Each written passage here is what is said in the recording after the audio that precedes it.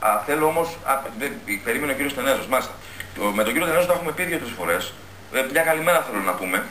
Ε, ο κύριος Τενέζος είναι ο απεργός πείνας έξω από την Επιτροπή Ανταγωνισμού και κανείς δεν ενοχλείται. Ο κύριος Τενέζος που καταστράφηκε, καταγγέλει διάφορα πράγματα. Ο άνθρωπος ε, ε, εμπόριο χάλιβα, έκανε σίδερο, έκανε, καταγγέλει μονοπόλια, έκανε μια δική του εισαγωγή. Ε, δεν έπαιρνε κανείς το, το προϊόν του, έκλεισε επιχείρηση, καταστράφηκε, κάνει απεργία έξω, σας λέω για όσους δεν το έχει παρακολουθήσει, κάνει απεργία έξω από την Επιτροπή Ανταγωνισμού, έτσι στο κέντρο της Αθήνας, στην ε, συμβολή των οδών Πατησίων και Κότσικα ε, και από ό,τι βλέπω δεν συγκινείται κανείς.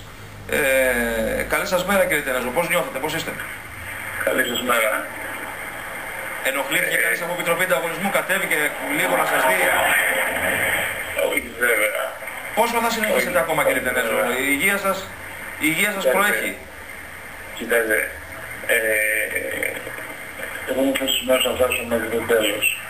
Όπως είπατε προηγουμένως, δυστυχώς είμαι μέσα σε ένα μπάχαλο. Όχι σε κράτος πραγματικό, αλλά σε ένα κράτος που εξυπηρετεί μόνο μεγάλα συμφέροντα και μόνο εξαρτήσεις κάτω από τη δέσμευση του κεφαλαίου. Ε, δυστυχώς ε, η καταγγελία είναι πάρα πολύ μεγάλη και καταγγέλει ε, τις χαλιβουργίες, καταγγέλει τον πολιτικό κόσμο, καταγγέλει τους μηχανισμούς, προσπάθησαν με διάφορους τρόπους να ρίξουν ασπολογία, να ξεφύγουν, να δικαιώσουν αυτούς που έχουν τα καρτέλ με σκοπό να τους βγάλουν λάδι γιατί πρέπει να εξεργικρώσουν επιταγές.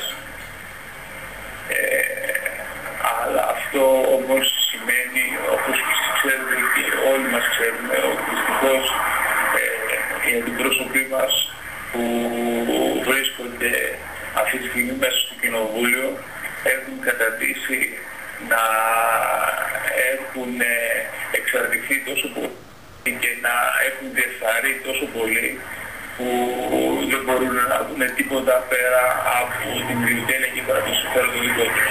Επειδή όμως, επειδή όμως έχετε τους ανθρώπους δικούς σας, την οικογένειά σας και επειδή ε, ενδεχομένως να είστε χρησιμότερος υγιής, στυλωμένος στα πόδια να δώσετε τη μάχη για αυτό το οποίο θεωρείτε το ότι είναι σωστό και δίκαιο. Μήπως θα πρέπει κάποια στιγμή να αναθεωρήσετε, να πάρετε μια ανάσα, να, να, να κάνετε μια μικρή διακοπή, να μην πάθει πρόβλημα η υγεία σας και να συνεχίσετε με μαχητικότητα αυτό το οποίο πιστεύετε ότι είναι σωστό. Κοιτάξτε, καταρχήν ε, πρώτα πρώτα ε, ξέρετε, σας έχω πει άλλες φορές απειλήσαν για τη ζωή μου οι χαλιβουργίες. Με απειλήσαν με εξαγορά, ε, σπάσαν αυτοκίνητα, μου ανοίξαν τα γραφεία, ε, απειλητικά τηλεφωνήματα, με τρέχαν τις μηχανές με τα, τα βράδια με τις μηχανές. Ε, το πρόβλημα δεν είναι ε, αυτό αυτή τη στιγμή.